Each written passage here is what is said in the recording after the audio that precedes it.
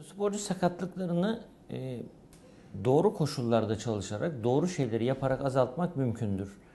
E, bu konuda özellikle son yıllarda yapılan gerçekten çok ciddi çalışmalar var. Bunların en başında FIFA'nın bütün dünya futboluna lanse ettiği 11 artı e, diye adlandırılan kısaca bir ısınma programı geliyor.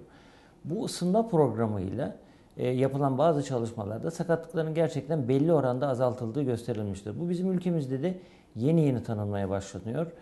E, bu ve benzeri programlarla, doğru ısınmalarla, sporcuların esnekliğini, kapasitesini, dayanıklılığını arttıracak bir takım programlarla bu sakatlıkları belli bir derecede düşürmek mümkün. Tabi burada e, sporcunun kendisinde olduğu kadar spor kulüplerine, daha doğrusu sporcuyu çalıştıran kişilere büyük görev görüyor.